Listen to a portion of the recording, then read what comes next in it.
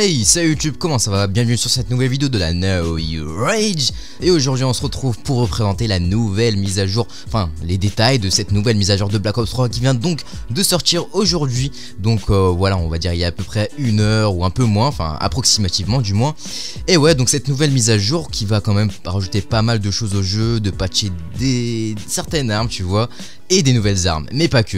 Donc je vais vous détailler le patch note de cette nouvelle version 1.15, donc comme ils l'ont nommé.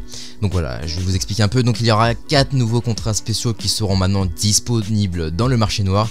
Pour ce qui est du jeu en général, pas de gros changements, si ce n'est euh, les listes de lecture, donc euh, rien de bien grand quoi.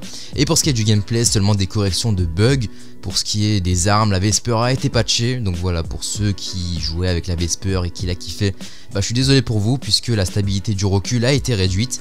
Et donc l'arrivée d'une nouvelle arme, et oui, les gants de boxe.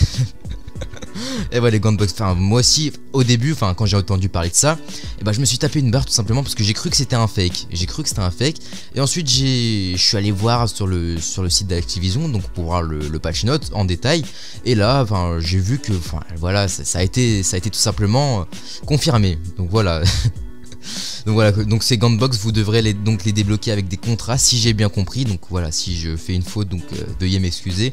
En tout cas, restez branchés sur la chaîne de Team Rage car nous posterons toutes les dernières nouveautés, les premiers gameplays avec les nouvelles armes, donc les gants de box par exemple, etc. etc. Donc surtout à ne pas rater. Je précise en tout cas que vous aurez tous les détails de cette nouvelle mise à jour dans la description de cette vidéo pour les curieux. En tout cas, cette vidéo est maintenant terminée. N'hésitez pas à nous faire part de vos avis dans l'espace commentaire ainsi qu'un petit like si cette info vous a plu. En tout cas, c'était Dead Skill. Portez vous bien, allez kiss